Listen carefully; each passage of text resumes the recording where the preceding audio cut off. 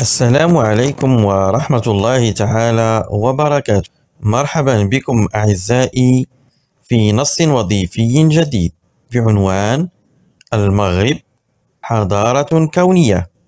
إذا كما تعودنا دائما نبدأ مع ألاحظ وأتوقع.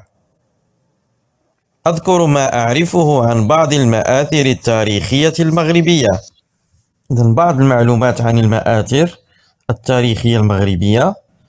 صومعة حسان توجد بمدينة الرباط. صومعة الكتبية توجد بمدينة مراكش. جامع القرويين يوجد بمدينة فاس. إذا هذه بعض المآثر التاريخية والأماكن التي تتواجد بها. ننتقل إلى بما يوحي عنوان النص. المغرب حضارة كونية. جواب يوحي العنوان بأن المغرب حضارة شاملة ولها مكانة كبيرة في العالم. ننتقل إلى أتأمل الصور وأتوقع علاقتها بالنص. إذا لدينا ثلاثة صور. الصورة الأولى هي لقوس النصر بوليلي والصورة الثانية هي برج الذهب بإشبيليا أما الصورة الثالثة فهي باب شالة بالرباط بالجواب نقول من خلال تأمل للصور أتوقع أن علاقتها بالنص ستكون علاقة تكامل وتوضيح لما قد يوجد في النص من أفكار. هذه الصور سوف تكون مكملة وموضحة لما يوجد في النص من أفكار ومضامين يريد إيصالها الكاتب لنا. ننتقل الآن إلى أقرأ النص. يوجد المغرب في موقع متميز على رأس القارة الإفريقية ويشرف على واجهتين بحريتين هامتين المحيط الأطلسي والبحر الأبيض المتوسط. وهذا الموقع المتميز هو الذي جعله وعلى امتداد مئات السنين يؤسس حضارة ذات خصوصيات. كانت ولا تزال صلة وصل بين الشرق والغرب من جهة وبين الشمال والجنوب من جهة أخرى. ومن خصائص هذه الحضارة الرسالة الإشعاعية التي حملتها مكوناتها الثقافية إلى القارة الإفريقية. حتى بلغت تخوم دولتي النيجري والسنغال جنوبا وحوض وادي النيل شرقا.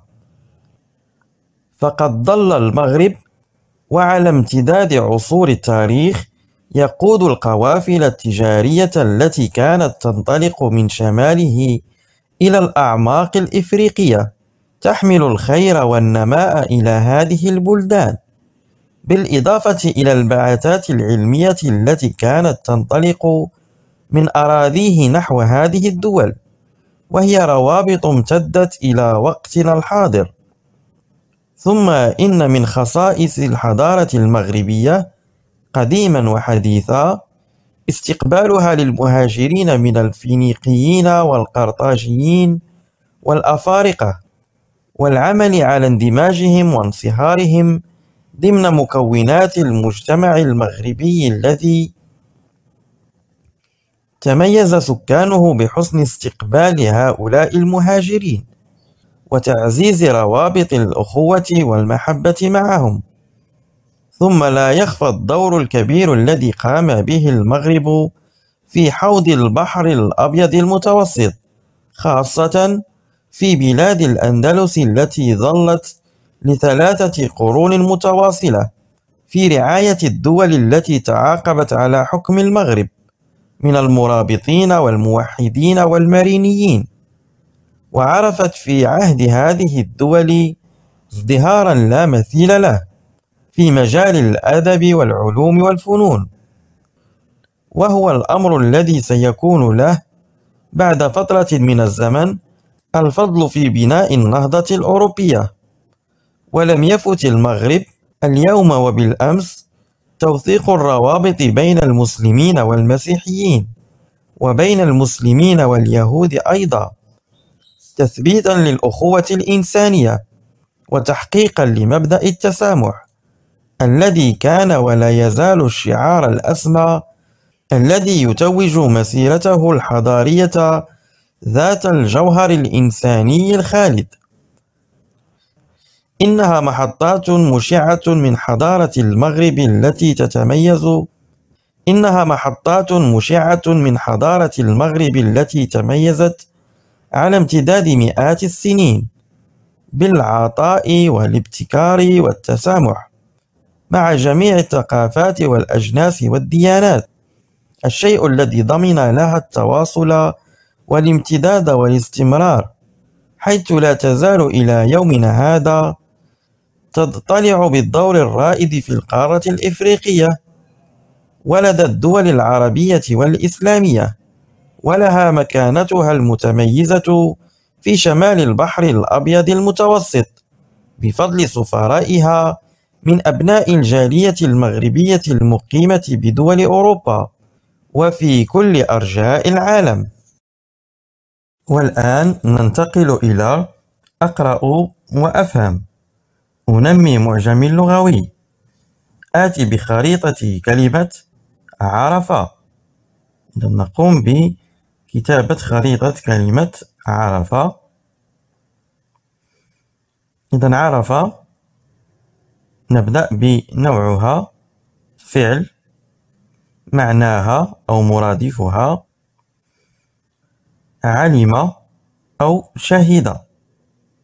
إذا حسب سياق النص الأفضل هي شهد ضدها جهل تركيبها في جملة نقول عرف المغرب تطورا كبيرا.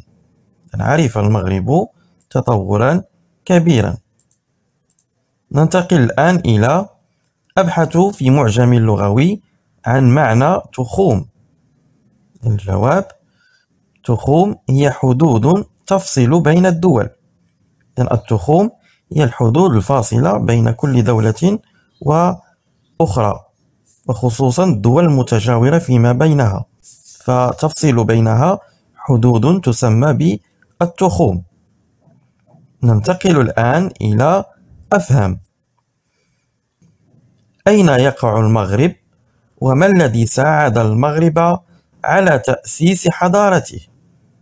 الجواب يقع المغرب على رأس القارة الإفريقية أي في شمال إفريقيا وخصوصا الشمال الغربي من القارة الإفريقية.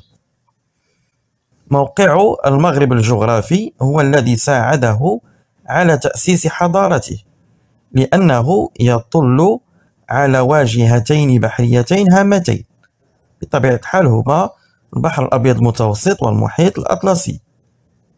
ننتقل إلى السؤال الموالي ما الخاصية التي ركز عليها الكاتب في الفقرة الثالثة؟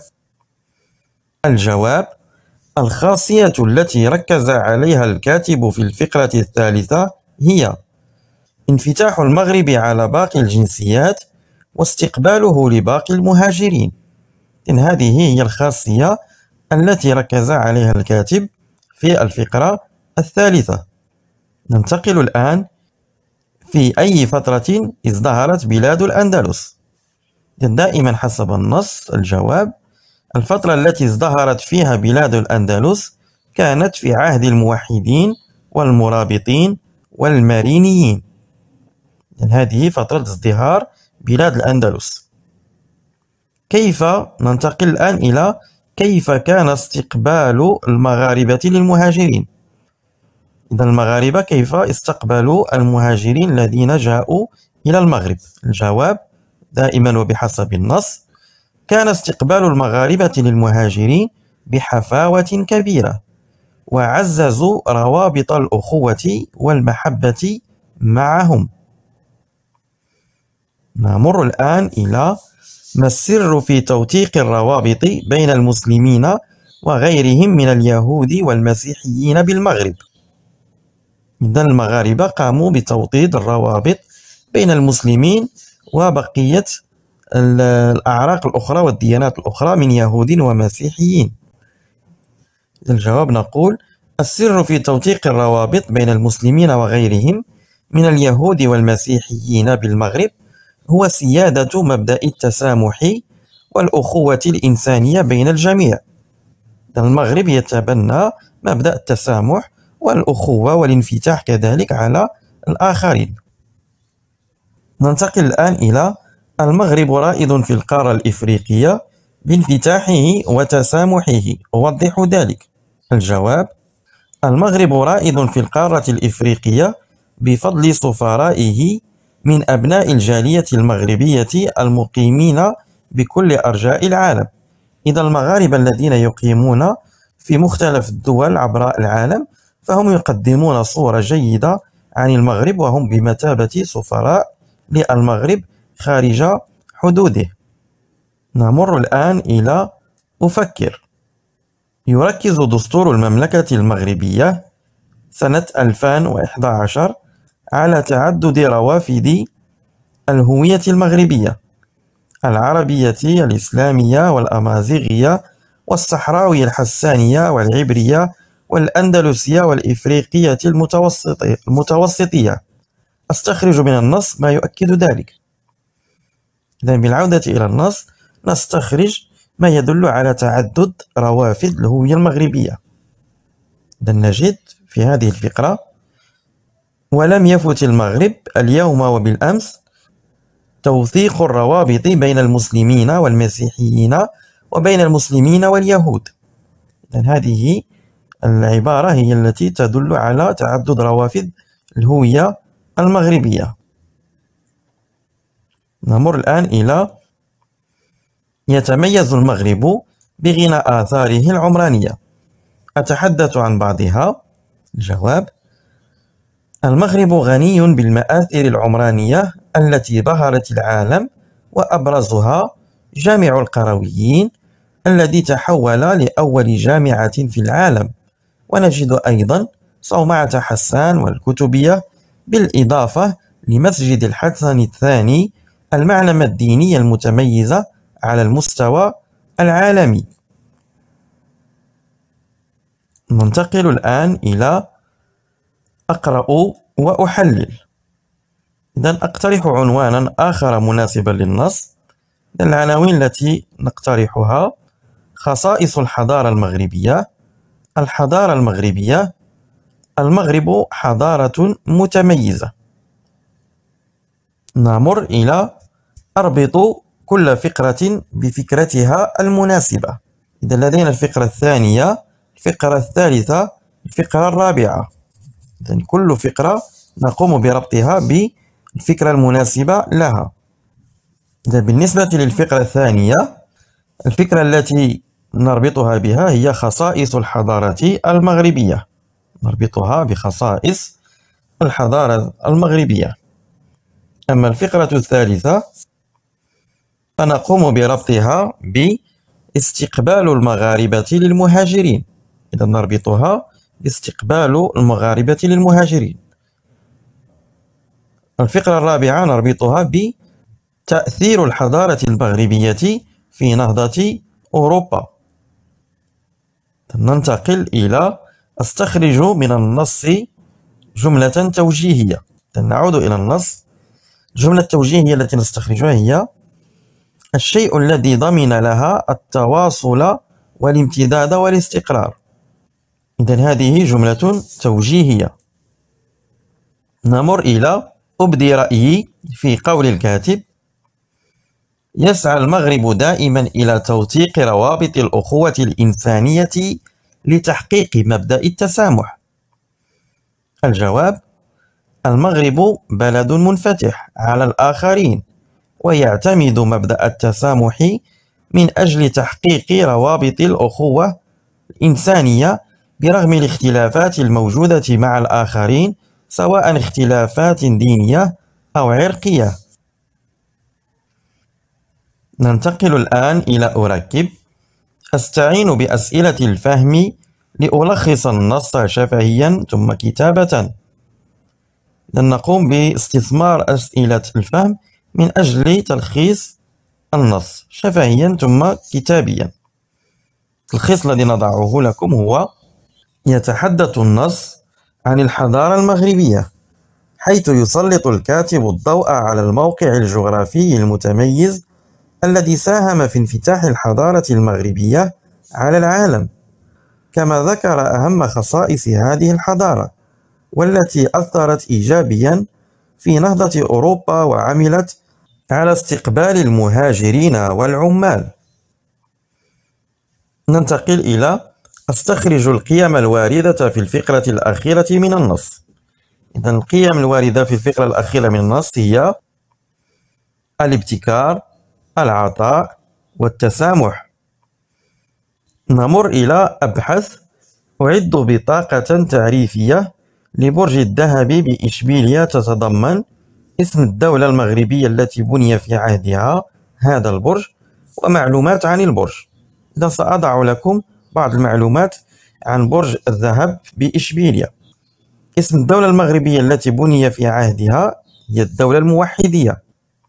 الفترة التي بني فيها قل بني في الثلث الأول من القرن الثالث عشر. المكان الذي بني فيه إشبيلية جنوب إسبانيا.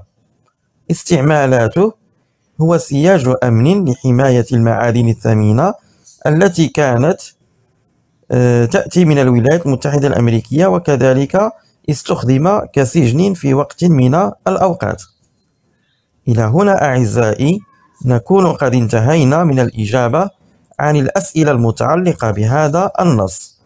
وقبل أن أترككم في أمان الله أقوم سأقوم بقراءة النص لكم مرة أخرى حتى تستطيعوا استيعابه بشكل جيد. يوجد المغرب في موقع متميز على رأس القارة الإفريقية. ويشرف على واجهتين بحريتين هامتين المحيط الأطلسي والبحر الأبيض المتوسط. وهذا الموقع المتميز هو الذي جعله وعلى امتداد مئات السنين يؤسس حضارة ذات خصوصيات. كانت ولا تزال صلة وصل بين الشرق والغرب من جهة. وبين الشمال والجنوب من جهة أخرى. ومن خصائص هذه الحضارة الرسالة الإشعاعية التي حملتها مكوناتها الثقافية إلى القارة الإفريقية حتى بلغت تخوم دولتي النيجر والسنغال جنوبا وحوض وادي النيل شرقا. فقد ظل المغرب وعلى امتداد عصور التاريخ يقود القوافل التجارية التي كانت تنطلق من شماله إلى الأعماق الإفريقية تحمل الخير والنماء إلى هذه البلدان.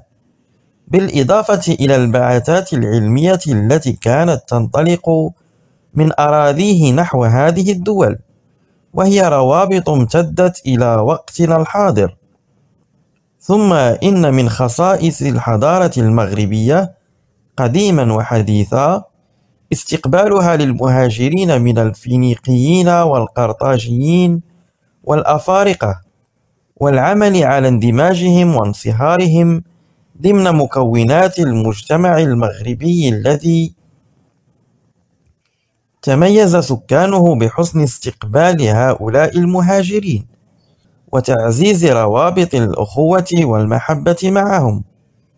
ثم لا يخفى الدور الكبير الذي قام به المغرب في حوض البحر الأبيض المتوسط خاصة في بلاد الأندلس التي ظلت لثلاثة قرون متواصلة في رعاية الدول التي تعاقبت على حكم المغرب من المرابطين والموحدين والمرينيين وعرفت في عهد هذه الدول ازدهارا لا مثيل له في مجال الأدب والعلوم والفنون.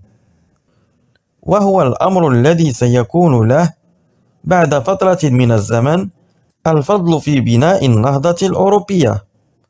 ولم يفت المغرب اليوم وبالأمس توثيق الروابط بين المسلمين والمسيحيين وبين المسلمين واليهود أيضا. تثبيتا للأخوة الإنسانية وتحقيقا لمبدأ التسامح الذي كان ولا يزال الشعار الأسمى الذي يتوج مسيرته الحضارية ذات الجوهر الإنساني الخالد.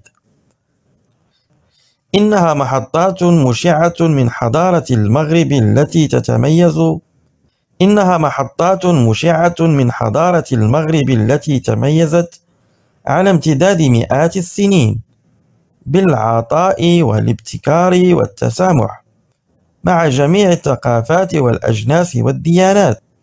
الشيء الذي ضمن لها التواصل والامتداد والاستمرار حيث لا تزال إلى يومنا هذا تضطلع بالدور الرائد في القارة الإفريقية ولدى الدول العربية والإسلامية. ولها مكانتها المتميزة في شمال البحر الأبيض المتوسط بفضل سفرائها من أبناء الجالية المغربية المقيمة بدول أوروبا وفي كل أرجاء العالم.